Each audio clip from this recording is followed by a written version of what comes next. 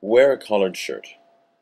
Now, standing from behind, measure across the shoulders, following a natural curve over the back. The starting point is here, where the shoulder meets the seam of the arm. Measure across to the identical point on the opposite side.